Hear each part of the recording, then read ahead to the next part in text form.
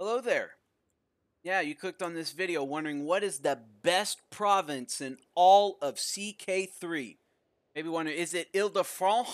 No, it's not Ile-de-France. Ile-de-France is disappointing. You can't build this castle for, or the, the church for a billion years. Um, Byzantines, is it, is it Constantinople? Uh, no, it's not. Uh, Constantinople's cool, but there's nothing else. It's a, it's a one holding province.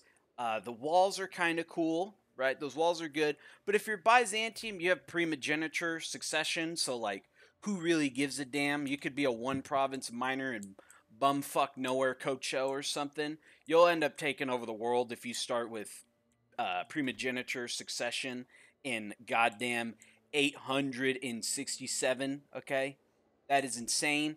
Uh, it's who know maybe there is some better place in India, but like who gives a damn about India? Like like look look at this guy. This guy's just naked, right? There's you just got dudes who are just naked in India. I don't even know if he's supposed to be naked, right? In India, the AIs just gained sentience. He just took his clothes off to flex on his whole of body, right? He's just flexing on people because who gives a shit about India? They didn't even catch that one. Um, but really, uh, the best province in the entire game is in Croatia. It's Zahumliji. Zahumliji. Yes, you know that that place that we all know and love, Zahumliji. Yes, not not Rome, not Ile-de-France, not uh not not Praha or or some other random German place I definitely can't pronounce. No, it's uh it's it's uh Zahumliji. And the reason why Zahumliji is by far the best in the entire game is it's fucking eight holdings big. This is the biggest province in the entire game, holdings wise. It's an eight province county. I have, and, and you may be wondering why is the Zahumliji eight provinces big, right? Nobody else has eight provinces, right? Ile-de-France is six. Uh, I don't know where the fuck Fez is or all the other ones, right? Um, if we go to Baghdad, oh man, I don't know where, where Baghdad is here. Who plays the Middle East?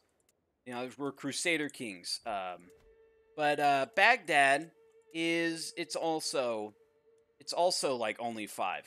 Uh, oh my god, I'm searching the wrong one. I'm choking here. We're goofing. Bag, dad. Where is it? Oh, it's right there in front of me the entire time. Uh, right here. Uh, which don't get me wrong, Baghdad is pretty good because you get you can construct a special. You get the House of Wisdom, which is really good. Uh, the one problem with it is realistically, it's going to be a pain in the ass to take Baghdad away from the Abbasids or any Muslims. Or like Mecca. Mecca and Baghdad are both really good because you get these really big buffs, right? These buffs are really good in, in the early game. Um, but Zahumliji has eight provinces. This is the only eight eight holding province in the game right? Because in CK3, duchies don't really matter. Uh, well, I guess they do. The the duchy, um, the capital, the capital, the county capital of the duchy is what matters, right?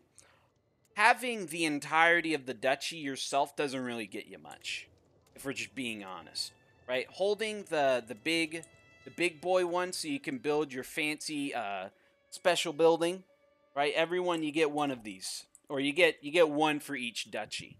Uh, but realistically, you're only going to have two. Otherwise, all your vassals are going to hate you, and that's respectable. So unless you want to cheese and just hold five billion duchies, which you can, you could do that, build the special building, and be broken. But that's kind of more of a cheesy strategy. We're we're talking about what's realistically achievable, and this is where Zahumliji shines because Zahumliji has the highest floor of any province in the game, right? Any one county.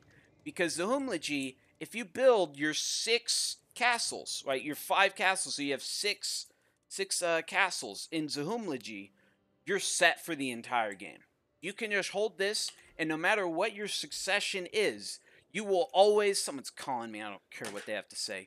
Uh, no matter what happens, you will always inherit everything in here. So even if you have 5 billion brothers and you got forced partition, you will always inherit everything in Zahumliji, which this is really important because in CK3, this is a game where you really want to, you really, really want to put all of your eggs in one basket with one county.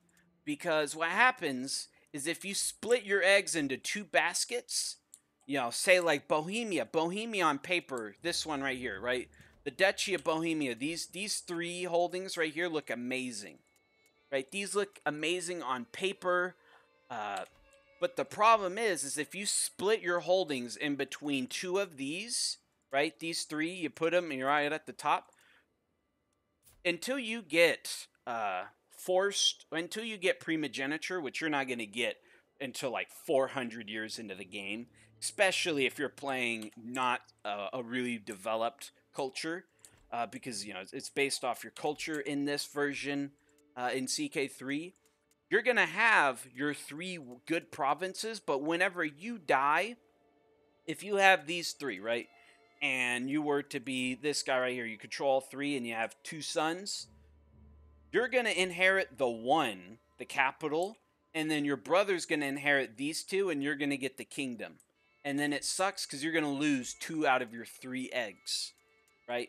And even if you split it in between these two right here, you're going to lose one of your two eggs. So in CK3, you would rather have one really thick Zahumliji than have multiple smaller places because succession suck. It is it is rough in this game. You can't cheese an early primogeniture in this game. You generally your options are going to be uh, abuse the disinherit with renown or murdering. You're not going to murder your sons, uh, but the best option is Zahumliji. Just for that that reason in itself, right? You can make an argument for like a good old, you know, uh, Constantinople, but again, if you're playing as the the Byzantines, you already have primogeniture on day one, so you really can't fail with with the Byzantines. They're OP. It's boring, but it's the reality. You just kind of you just have you have the best succession in the game. Really, most of your problems in CK in Crusader Kings 2 and 3 are going to be related to succession, and this makes succession easy, therefore making the game pretty easy. Uh, on top of the fact that the Abbasids are like little bitches in CK3. They are they're never a threat to anyone until like 400 years into the game if they get to actually play the game. Uh, but usually the Byzantines still body slam them anyway. Uh, at least in my games, I've had like a couple where they fall apart, but that that in its itself is really really the crux of it.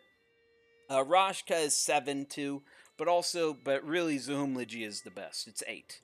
Eight is just amazing because it's one extra. Because you got to also remember it's not really eight; it's six. So you got to take two. So like one that's you know if you look over here, Provence, uh, you know, a lot of these they look good, right? They look good, like oh man, six, but it's really four, right?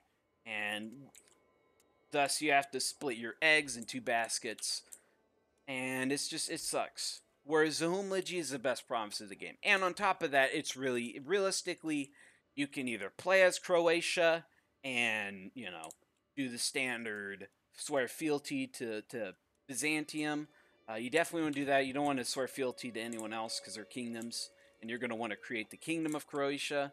But that's that's its own, I guess, separate video if I wanted to do that, if anyone wanted. But really, what it comes down to is Zahumliji not only is it amazing because of its high floor, right? You can't really go wrong with Zahumliji. Uh, but it's also amazing because it's relatively easy to get, right? You're going to have to lay the Sm- you're going to have to grow big enough to fight West Francia to take Ile-de-France.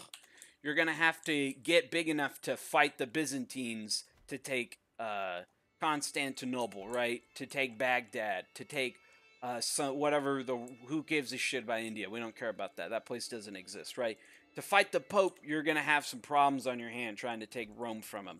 Uh, but nobody nobody wants Zahumliji. Zahumliji gets it gets left in the dark by everyone, right? You just have to fight some Croatian people, right? Some some you know, and that's that's easy or easy peasy.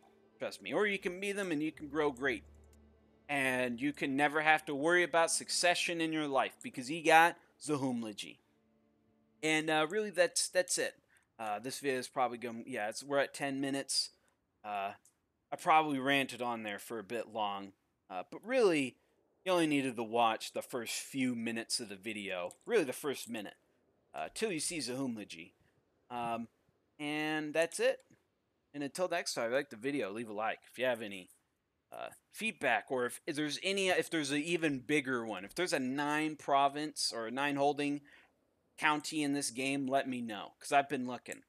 But the biggest one I found is Zahumliji.